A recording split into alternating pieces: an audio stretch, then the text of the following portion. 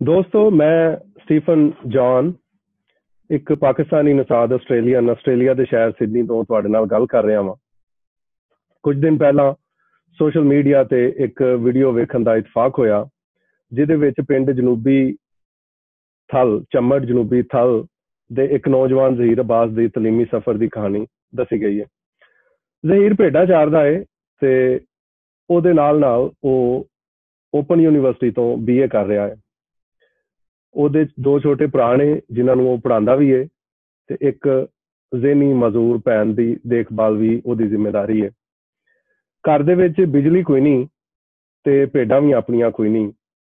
ਉਹ ਦੂਸਰੇ ਲੋਕਾਂ ਦੀਆਂ ਭੇਡਾਂ ਉਜਰਤ ਤੇ ਚਰਾਂਦਾ ਹੈ ਉਹਦੀ ਕਹਾਣੀ ਵੇਖ ਕੇ ਦਿਲ ਦੁਖੀ ਵੀ ਹੋਇਆ ਤੇ ਖੁਸ਼ੀ ਵੀ ਹੋਈ। ਦੁੱਖ ਇਸ ਗੱਲ ਦਾ ਹੋਇਆ ਕਿ 21ਵੀਂ ਸਦੀ ਦੇ ਵਿੱਚ ਵੀ ਰੱਬ ਦੇ ਬਹੁਤ ਸਾਰੇ ਬੰਦਿਆਂ ਦੀ ਜ਼ਿੰਦਗੀ ਬਹੁਤ ਔਖੀ ਹੈ ਤੇ ਖੁਸ਼ੀ ਇਸ ਗੱਲ ਦੀ ਕੀ ਹੋਇਆ ਜੇ ਜ਼ਿੰਦਗੀ ਔਖੀ ਏ? ਸਾਡੇ ਹੌਸਲੇ ਤੇ ਮਾੜੇ ਨਹੀਂ। ਮੇਰੇ ਇੱਕ ਦੋਸਤ ਨੇ ਜ਼ੁਲਫਕਾਰ ਅਲੀ ਜਮੜ। ਉਹ ਪਾਕਿਸਤਾਨ ਦੇ ਵਿੱਚ ਇੱਕ ਬਹੁਤ ਵੱਡੇ ਅਫਸਰ ਨੇ, ਸਰਕਾਰੀ। ਲੇਕਿਨ ਉਸ ਤੋਂ ਵੀ ਵੱਡੇ ਤੇ ਖੂਬਸੂਰਤ ਇਨਸਾਨ ਨੇ।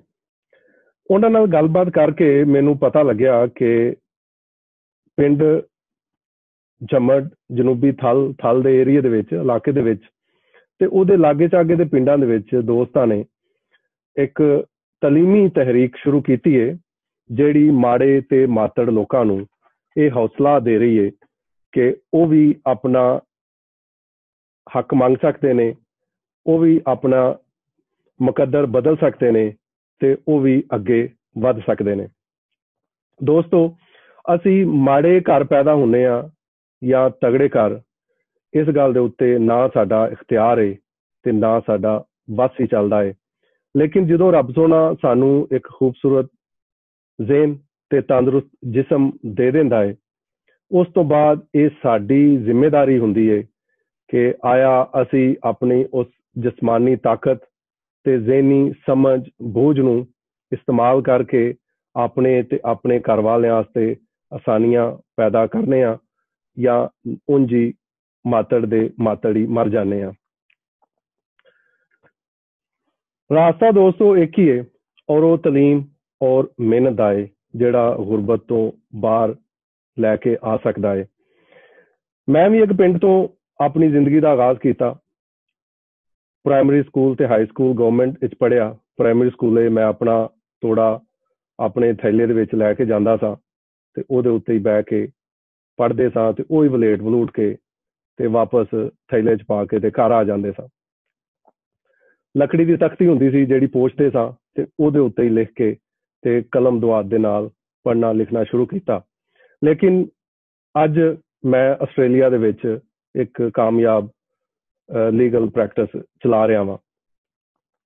ਸਾਡੇ ਲੋਕਾਂ ਦਾ, ਮਾੜੇ ਲੋਕਾਂ ਦਾ ਸਫ਼ਰ ਕਦੀ ਵੀ ਆਸਾਨ ਨਹੀਂ ਹੁੰਦਾ। ਮੈਂ ਵੀ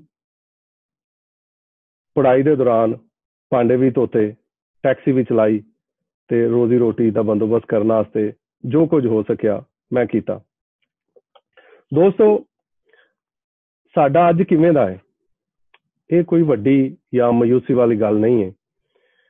ਸਾਡਾ ਕੱਲ ਕਿੰਜ ਦਾ ਹੋਵੇਗਾ, ਇਹ ਬਹੁਤ ਵੱਡੀ ਤੇ ਜ਼ਰੂਰੀ ਗੱਲ ਹੈ ਔਰ ਇਹ ਹੀ ਸਾਡੀ ਤਾਕਤ, ਸਾਡੀ ਉਮੀਦ ਤੇ ਸਾਡੀ ਹਿੰਮਤ ਹੈ ਹੀ ਤਾਲੀਮ ਹਾਸਲ ਕਰਦੇ ਰਹੋ ਤੇ ਹਿੰਮਤ ਨਾ ਹਾਰੋ। ਇੱਕ ਦਿਨ ਰੱਬ ਸੋਨਾ ਆਸਾਨੀਆਂ ਪੈਦਾ ਕਰੇਗਾ ਤੇ ਕਾਮਯਾਬੀਆਂ ਤੁਹਾਡੇ ਕਦਮ ਜ਼ਰੂਰ ਚੁੰਮਣਗੀਆਂ।